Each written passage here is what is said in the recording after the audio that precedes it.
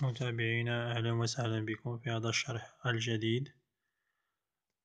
هذا الشرح لنهار اليوم سوف نشرح لكم طريقة صنع مسطرة لتركيب عدة لاقطات في طبق واحد. فهذا الشرح سوف نستعمل فيها أدوات بسيطة.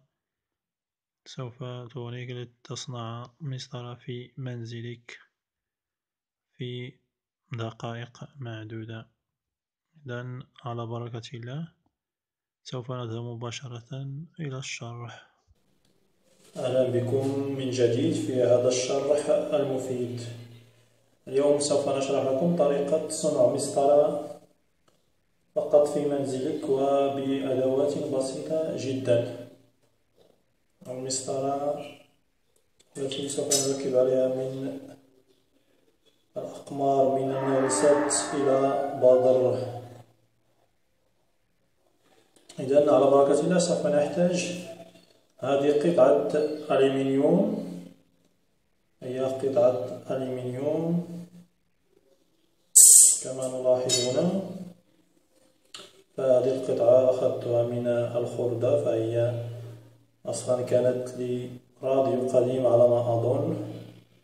فهذه الثقب التي تلاحظون في هذا المكان فهي موجودة أصلا.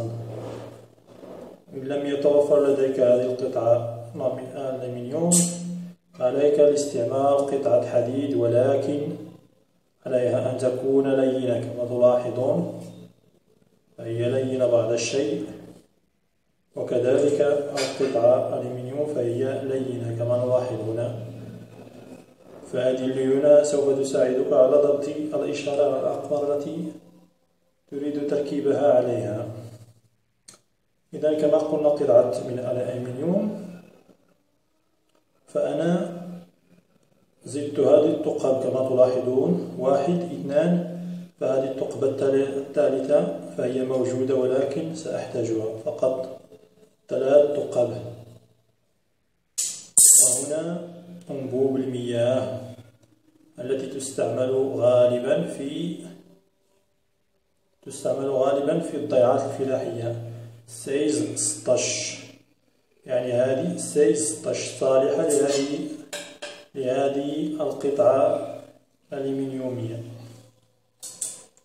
وهذه القطعة الحديدية سوف نستعملها هذه كبديل. إن لم تكن لديك قطعة ألمنيوم نستعمل قطعة حديد ولكن هذا الأنبوب المائي فهو سيز عشرين لهذه القطعة الصغيرة كما نلاحظ هنا فهذه القطعة صغيرة على قطعة الحديد ولديها سمك غليظ بعد الشيء. هذه القطعة لعشرين وهذه ستاشر لهذا النوع كما نلاحظ يعني سوف نصنع من أشياء بسيطة. ثم نحتاج هذه الآلية. هذه لتثبيت اللاقط. هذه التي سوف تضعون فيها اللاقط. فهي موجودة على المحلات لبيع مواد البناء. فأنا جلبت كما تلاحظون أربعة فهذه هي التركيبة الصحيحة. كما نلاحظ هذه سوف نحتاج فيها كما نلاحظ هذه قطعة ثم رقم عشرة. ثم واحد من الفوق لكي يثبت لنا لأنها كما تلاحظون فهي متينة. غير أنها مصنوعة من البلاستيك فهي بلاستيك عادي رطب بعد الشيء. لا غير. ثم نحتاج رونديل كما نلاحظ فهو فقط نثبته من الفوق. لا يمكن أن نثبته من الأسفل كما نلاحظ هنا. إن تثبتناه فيكون لدينا مشكلة في هذا. ثم نحتاج مفتاح رقم عشرة. كماش له منشار أو نصف منشار فهي آلة منشار أو نصف منشار ثم السكين. سكين المطبخ. فهذه تقب في ألمنيوم فتحتها بالسكين. إن كان لديك شنيور أو آلية أخرى للثقب عليك بها فأنا أستعمل أشياء بسيطة لا غير. فهذه التقابة هذه واحد إثنان استعملت فقط السكين. إذا سنمر أولا سوف نركب كما نلاحظ علينا التركيب. أربعة. ما علينا؟ نفعل تقب بالسكين؟ ثم نثبت هذه الآليات هذه قديمة شيئا. سوف أضع هذه. فهذه اشتريتهم. فهذه الأشياء يذكركم. فهذه الأشياء جمعتها في نصف ساعة. لا غير. يعني اليوم في نصف ساعة اليوم الجمعة في نصف ساعة جمعت هذه الأشياء كلها. يعني اشتريتهم من المحل الذي يبيع مواد البناء درهمان ونصف. وهذه القطعة الأخرى الصغيرة فهي بأربعة دراهم. يعني المجموع أربعة درهم أربعة درهما فقط. وهذه أخذتها لا شيء. لم أدفع شيئا وهذه أيضا هذه القطعة لم تدفع في شيئا. إذا على بركة الله سوف نمتن كما نلاحظ هنا ثم نضع كما نلاحظ هنا سوف يصنع نظام مكانه. كما نلاحظ. ولكن لا تتركه هكذا فأنا فقط تريد. ثم أضع لون آخر. كما نلاحظ ثم أضع نضيف ثم أرجع إلى الطريقة الأخرى فلتلك فهذه فقط هوايتي. فجرأة هوايتي دفعتني إلى لكي أصنع لكم هذه هذه القطعة المسطرة لتركيب الأقمار من النايل ست من النايل ست إلى إلى بدر ستة وعشرين. كما نلاحظ فقط ما عليك إلا بالصبر. سوف.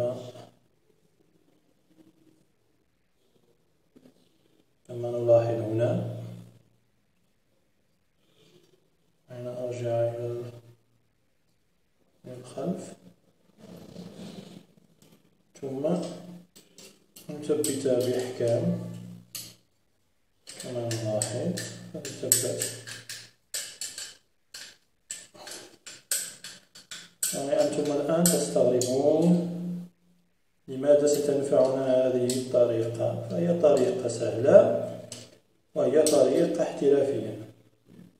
يعني هذه الطريقة فهي طريقة احترافية بسنن فهي طريقة احترافية مئة بالمئة. كما نلاحظ فلا. فهي متينة جدا ثم نذهب إلى القطعة الثالثة. كما نلاحظ هنا فقط. ثم نفس الشيء نثبت. هذا هذا بلون رقم عشرة. وهو يأتي مع هذه الأشكال تلاحظون ثم نثبت كما في السابق. فهي لم تأخذ منك وقتا أكثر فالجمع مثلا فجمعها الآن اليوم أكثر من ساعة وتصنع مسطرة احترافية ماتينة ليست كباقي التي توجد في الأسواق فهي ثمنها أربعون درهما ولكن ليست جيدة جدا فهي فهي صعبة في تركيبها إذا كما هو يعني طريقة سهلة ليس ليس فيها أي ليس فيها أي صعوبات.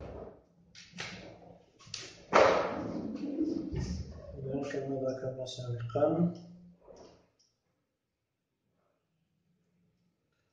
سوف نثبت هذا أيضا بنفس الطريقة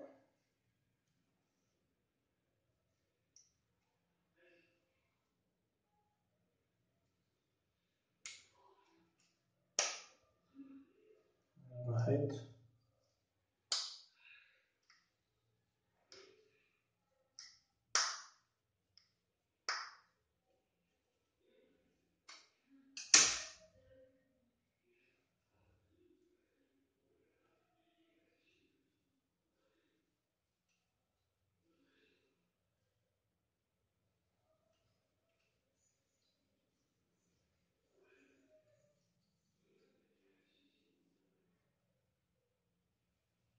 نلاحظ الطريقة سهلة جدا.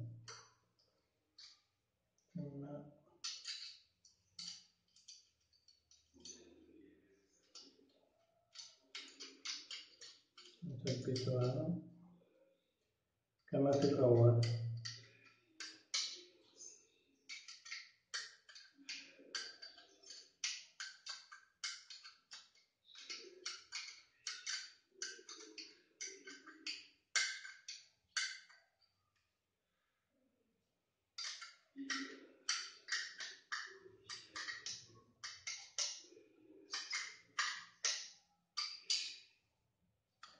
إذا كما نلاحظ هنا سوف نمر للرابعة بسرعة.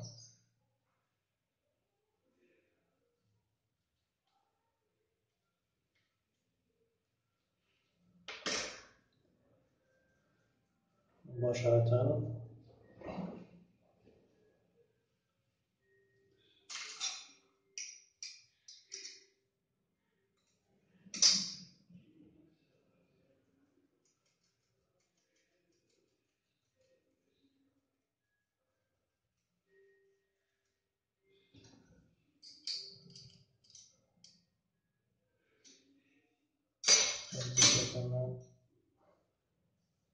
فعلنا سابقا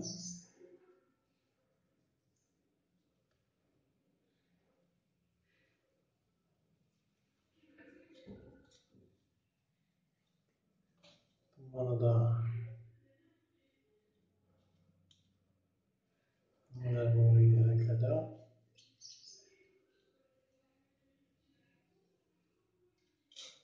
ثم أنضيف ثم نفس الطريقة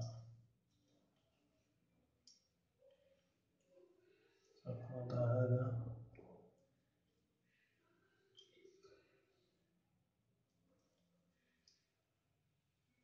نلاحظ مسألة التركيب بالسكين فقط لا غير.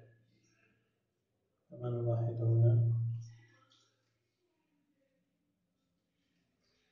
ثم نثبته جيدا.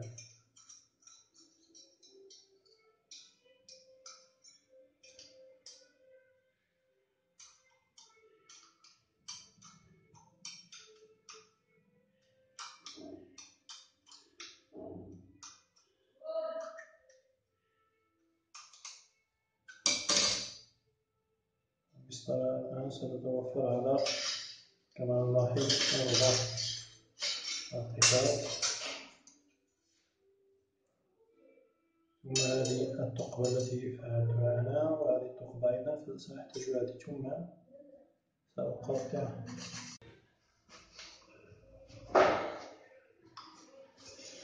بعد تم تركيب تجميع هذه القطع؟ المسطرة كما نلاحظ فهذه القطعة الألمنيوم فقطعتها من الوسط. ثم جمعت بهذا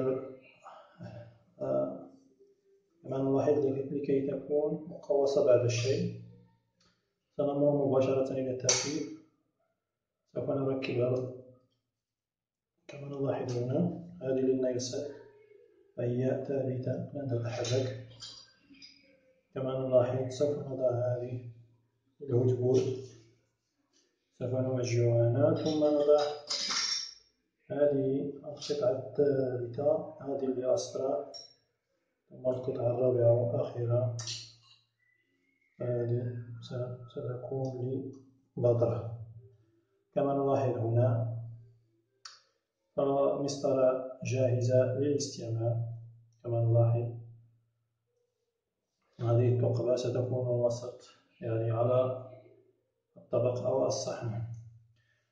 إذا هذا هو الشكل النهائي. كان معكم محددكم كابتن إيزيل شكرا لكم على المتابعة. لا تنسوا الاشتراك في القناة. لا تنسوا الضغط على الجيم إذا أعجبكم الفيديو. نضرب لكم موعدا في الشرح القادم. سوف أشرح لكم كيفية تركيب المسطرة. سوف أركب نفس المسطرة. لن أغير فيها أي شيء كما نلاحظ هنا. إذا شكرا لكم على المتابعة. وإلى اللقاء